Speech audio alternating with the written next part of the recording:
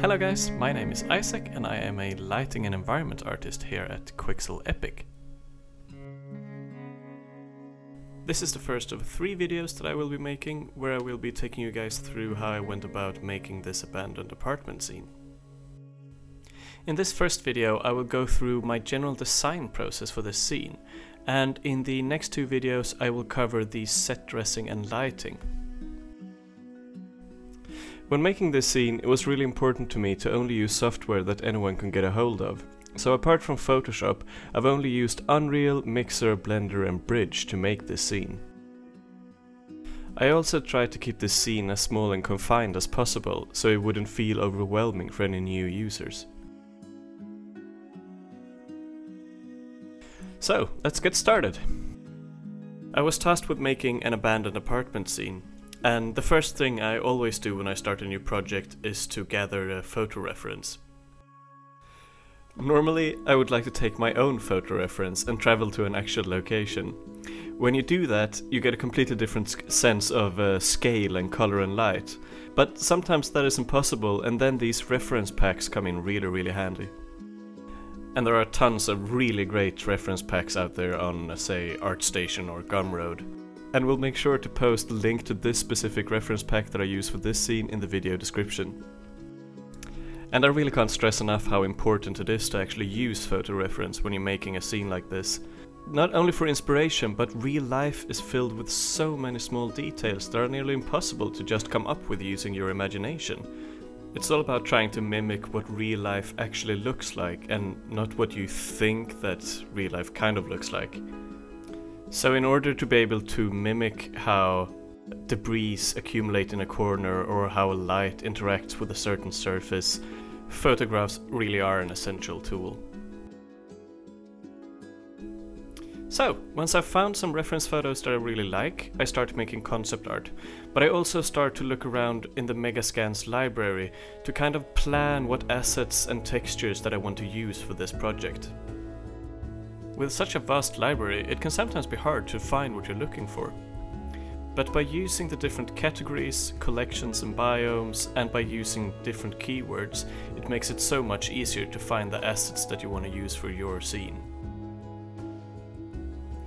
Also, since the library gets bigger every day, I often just scroll around through the different categories and if I find something I like I make sure to favorite it so I can come back for it later.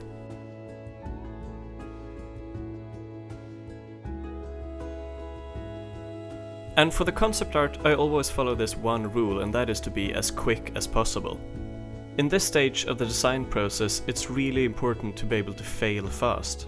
With these pictures here, for example, I've only spent about one or two hours on each image. And I do that because often I get an idea in my head and it looks really really good, but sometimes once you get it down on paper, it's not as cool as you thought it would be.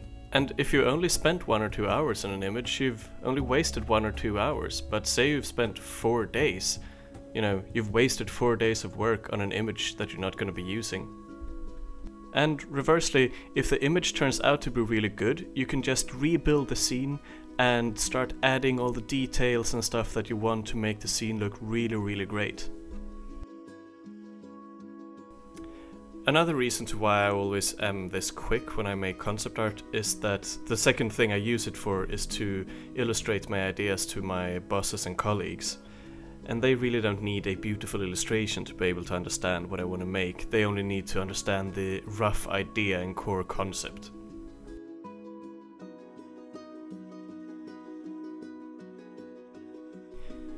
Here you can see a few comparison shots between my original concept art and the final shot within Unreal.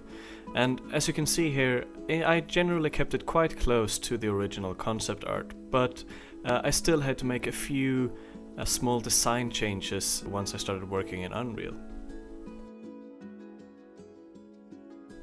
To illustrate this, here is my original sketch for the apartment layout, and as you can see there are a few things missing here.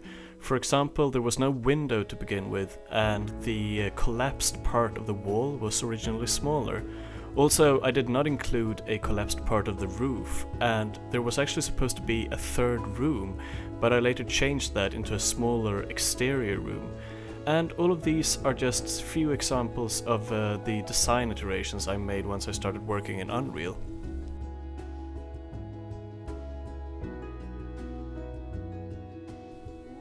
Thank you all so much for watching this first video.